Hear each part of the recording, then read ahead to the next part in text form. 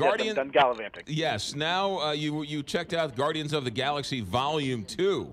Uh, I did. Yes. Worth... I got to see this a couple weeks ago um, Uh-huh. on the Disney lot, um, which means I have to say that it was good, right? Because Yeah. that's their, my parent company. No, but I mean it, it. It's fantastic. They they again another Marvel home run. They know what they're doing. Um, they brought the humor back again. Chris Pratt, Zoe Saldana, um, uh, Dave Bautista is really really good again as uh, as Drax, this you know blue kind of destroyer guy. Um, and you have Baby Groot, uh, which is just like one of the cutest characters that's ever going to be on screen, at least in the whole year. Um, and I don't know what they're putting in the water over at Marvel, but the colors in this thing, man, are trippy and fantastic. Um, and you have Kurt Russell this time around, who you you know you can't argue with Kurt Russell. Um, so it's going to do big business. Tracking has it at 150 million or more. When we get that high, uh, it's always notoriously unreliable. So we're looking at a spread of 130 million to 170 million. Uh, Beauty and the Beast is the biggest opening of the year so far at 172 million. I don't think it's going to quite get there, but it's possible. Uh, Gardens of the Galaxy Volume Two. If I haven't seen the first one, will I get lost for the second one? Uh, a little bit. Um, you won't know the relationships between the characters and why they're doing what they're doing, and um, you'll miss a lot of the jokes for sure. Right. Um, but I mean, you could pick it up and go in there. I went in there not remember. The last one was three years ago. I'm horrible at retaining plot lines uh, for things, um, so um, you know I didn't really I didn't read up on anything before I went in. So if you you know don't quite remember what happened in the last one, you'll be okay. But if you didn't see the first one, you know I'd I'd say see the first one. All right, there you go. Uh, while we have you, uh, did I hear YouTube is having some some specials with some comedians?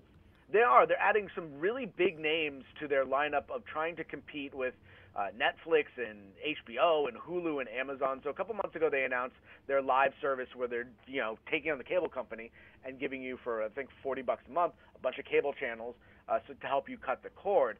Now they're adding original, more original programming. They have original programming, but with big names. Ellen DeGeneres is going to do a twice weekly show, which is a kind of behind the scenes of her show.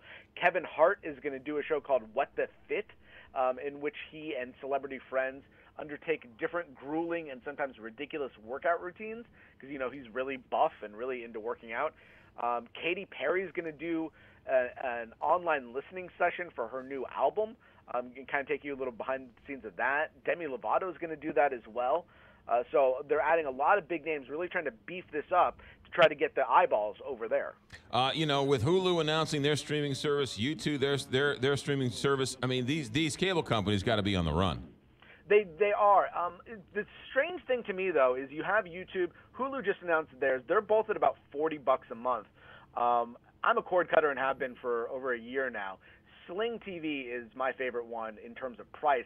It's twenty bucks a month, and you get all the channels that you want. So in order to really compete, Sling's been around for a while. So at forty bucks a month, they're going to have to bring their their services down, the prices down. And Hulu doesn't even have uh, a lot of the channels that uh, YouTube or Sling has. So uh, there's still a lot of work left to do in, in this space, at least to get it cheaper than your cable bill. Because if you're going to do this, 40 bucks a month, then plus Netflix, then plus HBO, if you want that stuff, Right. you're still getting up there in price. Uh, you have uh, you said you have Slingbox, right? So Sling from from. It's, yeah, it's Sling. It's different than the Sling box. Sling is a TV service where you get the cable channels um, uh, on an app or on your streaming. Do you get- a Roku TV. do you get local channels? The ABC, NBC, CBS.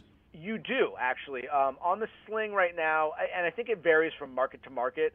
And with the YouTube or with the Hulu thing that was just announced, they're they're they're doing a beta. So in in certain markets, you get local channels, not in every market. Got it. on on Sling right now, you get I think Fox and NBC here, but that's it. Um, so I, I have an antenna. I have an antenna on the roof, and that's how I'm getting my local channels. Uh, I mean, and, it- and it works great. And the picture's actually a little bit better than it is on cable. So you know, I love it. Yeah. Uh, all right. Jason Nathanson uh, filling us in on Gardens of the Galaxy 2 and his uh, Sling TV. That's right. Jason, have a good week. Thanks for checking in. Take care. Bye, guys. 825, Big 550.